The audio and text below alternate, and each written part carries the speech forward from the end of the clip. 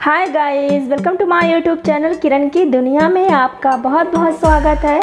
आज मैं बनाने जा रही हूँ आप लोगों के लिए एक स्पेशल पराठा, जो मैं बनाऊँगी इस बची हुई दाल का। तो चलिए फिर इस दाल को इसमें हम ऐड कर देते हैं। और ये देखिए, हरी मिर्च और प्याज को मैंने बारीक बारीक काट लिया है। इसे देखिए काफ़ी बारीक काटना है। अब इसमें डाल देना है स्वाद अनुसार नमक। वन टीस्पून अजवाइन। हाफ़ टी स्पून डालेंगे इसमें हल्दी पाउडर। थोड़ा सा डाल देंगे हाफ़ टी स्पून धनिया पाउडर, बचा भी लेंगे इसमें। अब इसे हम अच्छे से मिला लेंगे, इसे मिक्स कर लेंगे। अगर आपके पास और भी सब्ज़ियाँ अगर आपको डालना है तो आप डालिए। नहीं तो कोई ज़रूरत नहीं है। बस हमें यही डालना है और इसे अच्छे से गूँथ लेंगे। तब तक गूँथेंगे जब तक हमें इस पानी की ज़रूरत ना हो। नहीं तो हम जो दाल ऐड किए हैं, इसी में ही हमको गूँथ लेना है। तो चलिए इसे गूँथ कर रेडी करती हूँ। तो ये देखिए फ्रेंड्स हमारा आटा गूँथ कर रेडी हो गया है। इसे गूँथ कर रख दिया। अब इसे हमें को अच्छे से ढक देंगे, जिससे आटा बढ़िया सेट हो जाए। ये देखिए फ्रेंड्स हमारा आटा सेट हो गया है। 10 से 15 मिनट के लिए मैंने इसे रख दिया था। चलिए अब इसका हम बनाते हैं पराठा। और और ये देखिए, ये मैंने लिया है घर का तेल।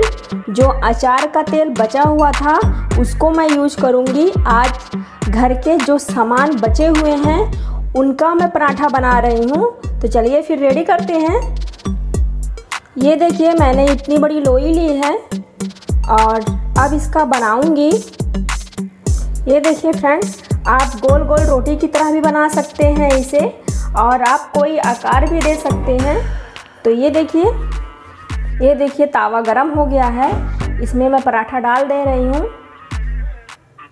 एक तरफ़ हो गया है, इसे पलट देंगे। लाल चिट्टी आने तक हमें गैस पे रखना है तावे पे।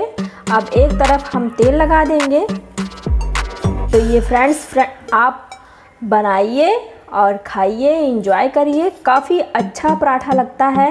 एक बार ज़रूर ट्राई करिएगा। दूसरी तरफ़ भी देख लेते हैं और पराठा देखिए, इधर भी लाल चिट्टी आ गई है।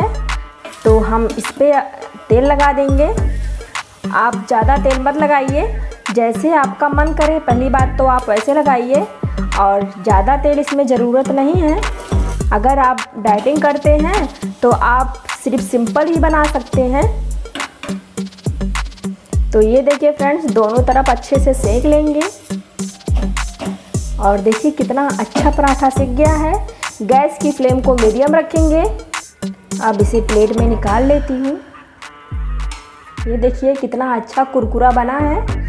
तो आप दाल को फेंकिए नहीं और अच्छे से पराठा बनाकर इसे यूज़ कर सकते हैं दाल को।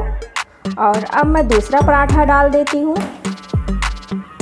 दूसरा पराठा भी डाल दिया और अब ऐसे सारे पराठे हम सेक लेंगे। पराठे को पलट दिया इधर सेक लेती हूँ दूसरी तरफ़ और इधर मैं तेल लगा देती हूँ। देखिए फ्रेंड्स कम तेल में कितना अच्छा स्वादिष्ट नाश्ता बनकर रेडी हो रहा है ना?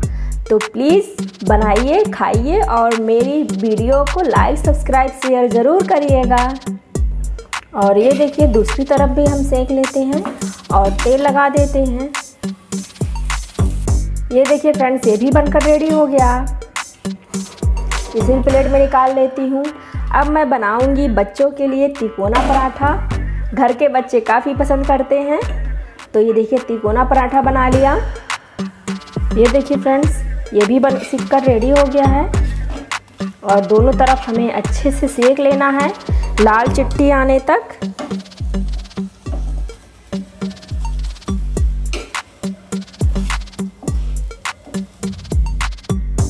इसको भी उतार लेते हैं। तो ये देखिए फ्रेंड्स आपका बढ़िया पराठा बनकर रेडी हो गया है। तो आप अच्छे से इंजॉय करिए। और देखिए, दाल हमारी बच गई। हमने पराठा बना लिया। तो आप ऐसे कोई भी डिश बनाकर रेडी कर सकते हैं।